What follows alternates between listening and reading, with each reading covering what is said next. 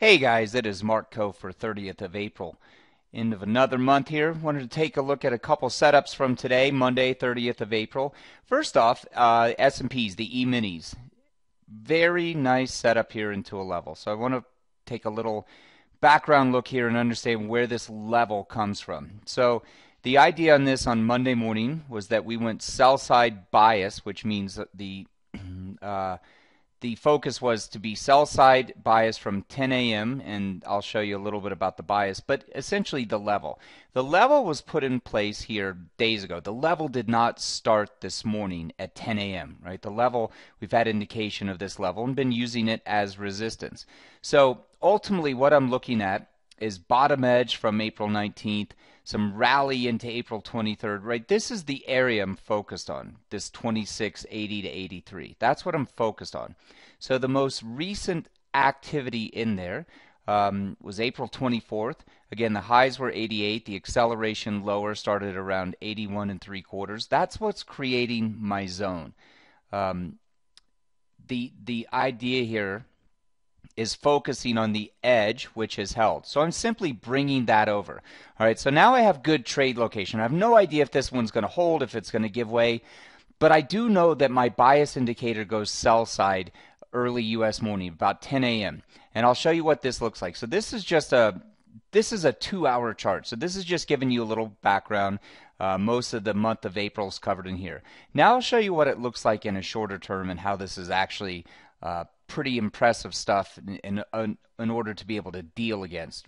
So walking into the morning, I'm using um, I'm using this resistance above 2680. That that becomes my focus. I'm using the resistance above 2680. So I know where I'm focused, and I just want to bring up the uh, U.S. Open sheet. Um, I know I'm looking up to 88, right? I know that's the resistance. I know up to 88. That was the level created. But on an intraday basis, it starts printing resistance in and around 82 to 83, which was just the bottom of it. The, the key here was the timing aspect I was using starts to go sell side at 10 a.m. So now you'll see 10 a.m. 10 a.m. is right here, this big nice green candle. And all that does, it trades right into the top edge of the intraday zone, allowing for short side.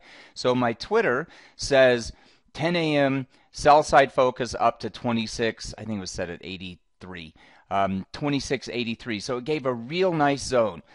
Well, again, rotation throughout the day, this becomes a 35 point move in the S&P that had basically a handful of points of risk against it.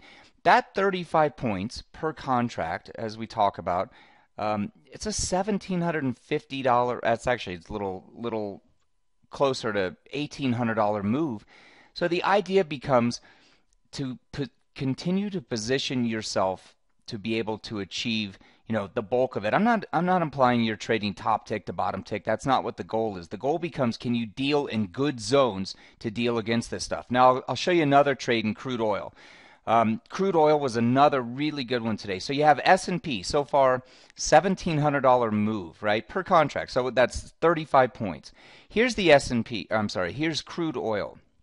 Now i'll show you again where this comes from because it didn't start today. The level did not start getting printed today.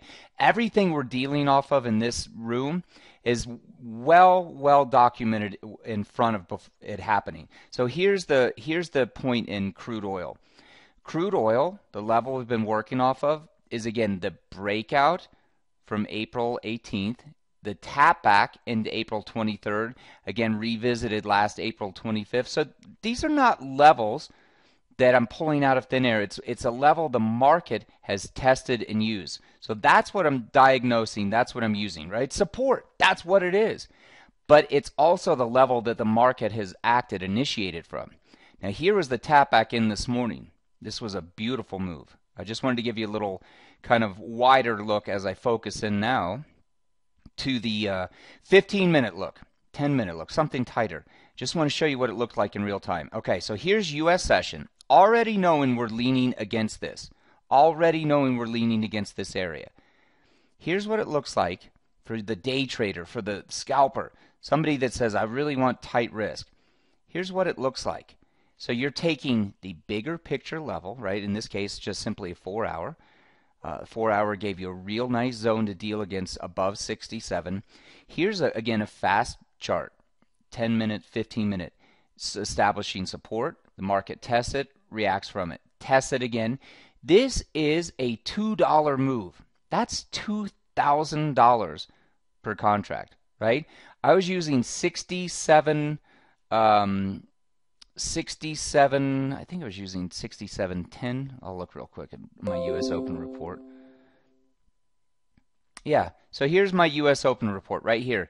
Using 6710 as the support in that area, we traded to a low of 17, right? Seven ticks away. So the support I'm using is right here, right? That's what I'm using as support. So the idea is being able to lean against it. That's the level I'm leaning against. It starts bottoming, bottoming.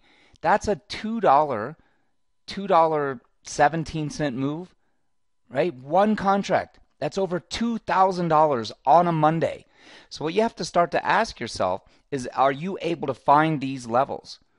Are you able to find these levels with consistency? And that's really what it's about. It's not saying every level follows through. I could show you plenty that don't. The difference is on the ones that don't, your losses are very well contained. The ones they do, you see them running. So, anyway, for Monday, 30th of April, hope you guys had a great day. Hope to keep up the good work, find some more levels, and keep at it. Cheers, guys.